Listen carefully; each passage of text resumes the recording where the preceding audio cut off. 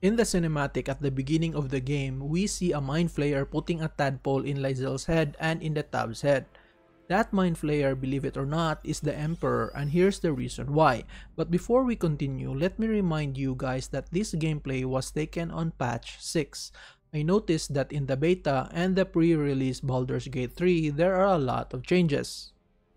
In Gortash's book, it is said that he tasked the Emperor to steal the Astral Prism, so this places the Emperor inside the Nautiloid.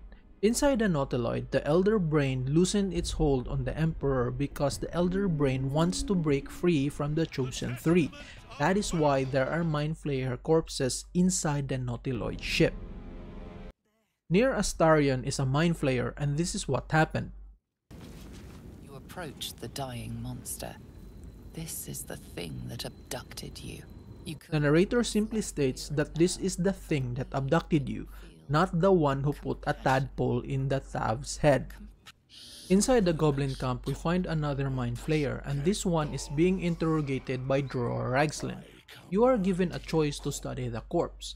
The narrator states that this mind flayer's build is smaller, its gar planar, a fearsome creature even in death, but not the one that tormented you. If you look at this image, you can see that both look similar but not quite. And what I mean by that is that this Mind Flayer's armor is different from the one who put the tadpole in the Tav's head.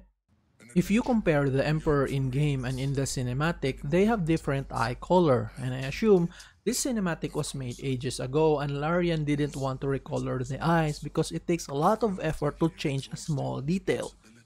Another reason as to why they didn't change the eye color is because maybe it would make it so obvious that the Emperor was the one who put the tadpole in the Tav's head. Larian probably didn't want the player to connect the dots right away and figure things out. The Emperor's armor is unique and it almost matches the one in the cinematic except for the color, but that's probably because of the lighting. But I can guarantee you that it is the only armor that looks like that. All the other Mind Flayer armors look the same except for the Emperor. Here's a brief summary of the story from my own understanding. Gortash, Orin, and Ketheric are minions of the three evil gods, Bane, Baal, and Myrkul, and are called the Chosen Three. They want to do evil things and hatch a plan to capture an Elder Brain under Moonrise Tower.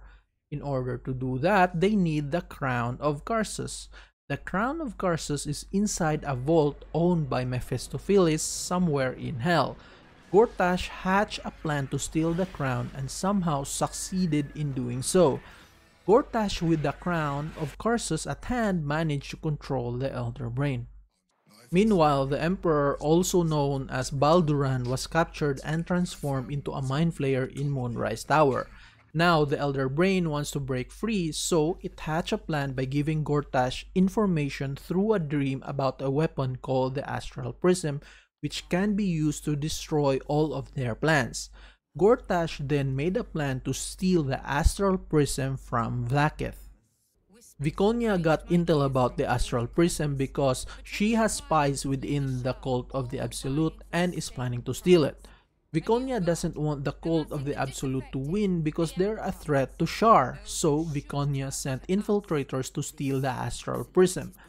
Shadowheart's teams somehow managed to steal the Astral Prism from the Githyanki, but she's the sole survivor who managed to escape.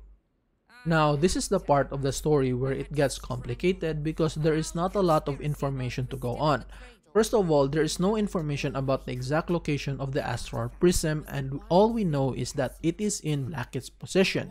Now, I searched everywhere and I just couldn't find any information as to where the location is within the game. That being said, Team Shadowheart got the Astral Prism first and then somehow got intercepted by the Emperor and got captured in the process. Then the Elder Brain loosened its control on the Emperor knowing that the Emperor will revolt and find ways to be free from the Absolute. Then the Emperor put a tadpole in the Tav's head and the others knowing that the victims will find a way to be free from the tadpole and avoid transforming into a Mind Flayer. Then the Nautiloid got chased by the Githyanki and their dragons and ended up damaging the ship, causing it to crash land near a river, and that is where the story begins. So, what do you guys think? Are you convinced that the Emperor put the tadpole in the Tav's head? Leave a comment down below and thank you for watching and have a nice day.